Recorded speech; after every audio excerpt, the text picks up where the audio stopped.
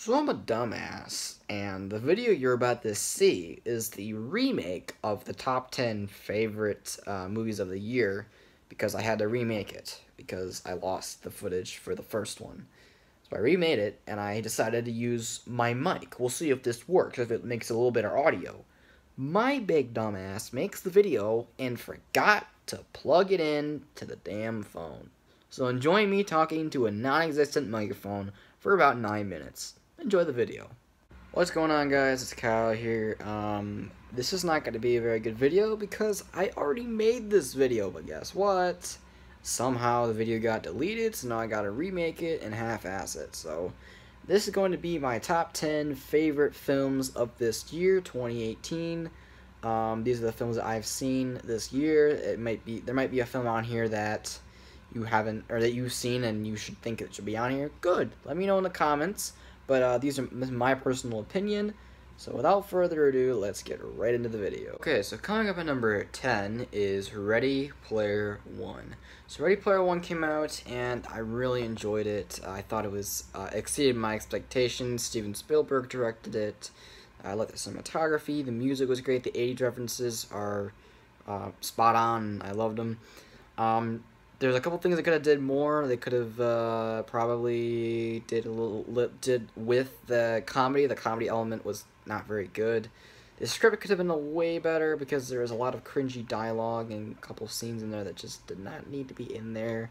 And I think that's about it for that, so that's why it's at number 10. Number 9 is uh, Upgrade, which is a little film that came out early this year, and not a lot of people, uh, you know, saw it in the theater, so it kind of sucks because this film's awesome, man. Great action. Uh, the choreography is really good and uh, impressive for a small budget action film. Uh, if you love just gore and just bloody action, this is a great movie for you. And also has a really dark ending, and if you love dark endings, you'll love this ending. So that's why it's number 9. Number 8 is Deadpool 2, the long-awaited sequel that I don't think anyone thought could ever be as good as uh, the first one and it exceeded my expectations again. Um, this is easily funnier than the first one. Uh, it's not better. I think they definitely did. They, the thing about this one is they really pushed so much into this one that it just kind of became convoluted and very confusing at times. It just became a big mess of people wanting this in there and people wanted this in there. Like they just wanted too much in this movie, but you can't always put so much in one movie. So I think it's its main problem. Overall, it's a fun action film, uh, hilarious as always. Get Deadpool is always fun. I did not see Once Upon a Deadpool, which was the PG-13 cut of this film. Speaking of cuts, the uh, super duper cut looked pretty good. Coming up at number 7 is Bohemian Rhapsody, the uh, Queen film that I thought would never ever get made. And it was made, and I was actually really excited for this movie because Rami Malek was in it, my boy Rami Malek from Mr. Robot. It looked great, and I love Queen. Queen's my favorite band, so I mean, I was super excited for this movie, and I was not disappointed. This film was awesome. The music is always good. I mean, the music is going to be good to begin with. It's Queen. Who doesn't love Queen? Um, acting was phenomenal. Uh, the script was a little cliche, a little uh, you know cringy at times. Uh, the story was is nothing different. It's nothing to set across the bar for biopics or anything. It's definitely something you've seen before, but honestly, it's super good. And in my opinion, it's really good. So. That's why it's at number 7. Coming up at number 6 is A Quiet Place. This film came out of nowhere for me. I saw the trailer and it looked like another dumb horror film, but then I saw who was behind the project John Krasinski, Jim from The Office. He directed it, he produced it, and he wrote the screenplay. Like, this guy did pretty much damn near everything in this movie, and it turned out to be really, really good. I mean, it uses sound to its absolute advantage. It, uh, the sound in this movie creates intensity, atmosphere, um, scariness. It just creates everything in this movie. Everything relies on sound in this movie uh, because there's hardly any dialogue in the film. So it really heavily relies on the sound and just the overall creep factor of the movie. And it delivers, man. There's a few jump scares, but when there are jump scares, it they they hit hard.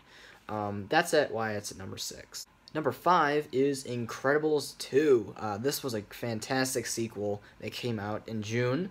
Uh, this took 15 years to come out. 15 years.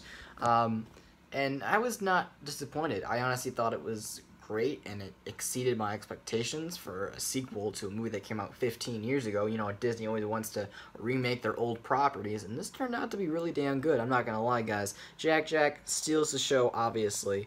Um, the the old characters are still great. Um, the only thing I have a problem with is the villain was very stupid and came out of nowhere and just well, I mean, not really. I came out of nowhere. You can honestly guess who it is from like the first time you meet the person, but Anyways, that's that. Honestly, I really enjoyed this film. I think it was worth the wait. Hopefully, they don't make Incredibles 3. Uh, they didn't really set one up, so hopefully they don't. Um, we'll see. Coming up at number 5 is Mission Impossible 6 uh, Fallout. The best one in the series, in my opinion, and it might be my favorite action film. I mean, it's that good. Uh, the action is Paul Spawn. I mean, the action is crazy. The music is great. The cinematography is actually really good as well, which I was not expecting from a Mission Impossible film. Tom Cruise always puts on his best performance in those movies, uh, and he also does all of his stunts, obviously. And this movie has the absolute craziest stunts imaginable. I mean, this guy damn near killed himself for this movie, but I loved it, and that's why it's at number four. Number three is a very big surprise for me, uh, and that is Black Klansman. And uh, this movie was really good. I really enjoyed it. Denzel Washington's son. His performance here is amazing. So is uh, Adam Driver. I love Adam Driver, and he was uh, an absolute treat to watch in this movie. He's a great supporting character. Um, the story is great. The acting is phenomenal, like I've already talked about. The music is kind of crappy and kind of generic. I don't know why they chose that kind of music, but whatever. Cinematography is good. Um, overall movie, it's really good. The ending is a little sad, but I think they really didn't really need to put that in there at the end, but they had to have their message, so I guess it's okay with me. But that's why it's at number three. Coming up at number two is probably the biggest surprise of this entire year for me, and that is Game Night. This movie is absolutely hilarious, and it's not only hilarious, but it's also very smart in the way in the way it's uh, made.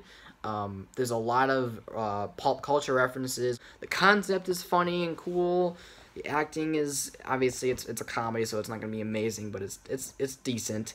The music is good as well, and I love the aesthetic of it. It looks like when when you transition from one scene to the next, they almost do like a they're showing you like they're on a a, a game board or like a board for a board game. So cool, and a lot of different camera tricks are used in this movie, which you would not expect from a comedy. Uh, that's why it's number two, man. Amazing film. A couple honorable mentions uh, would be Isle of Dogs, Venom, Tag, and Like Father. Alright, there it is. My number one favorite film of the year is Avengers Infinity War. I mean, you probably already guessed it because I'm a huge Marvel fan. It's the biggest movie of the entire year. Made made like two billion dollars. I mean, this movie's everywhere, but I love it, man, and I uh, need to own it. But I love it, and it's probably my favorite Marvel movie. It is probably my second favorite comic book movie um, I think I don't really need to say anything more about it. You guys already know pretty much everything about this movie, but alright, that was it. That was my top 10 favorite films of this year. I know it wasn't as crazy as you probably thought it would be. I, I had a better video plan, but for some reason it got deleted, so I had to remake it on the spur of the moment. Hopefully this turns out okay. We'll see. Once again, I'll say again, I said it multiple times before, but thank you again for everything this year. You guys mean the world to me.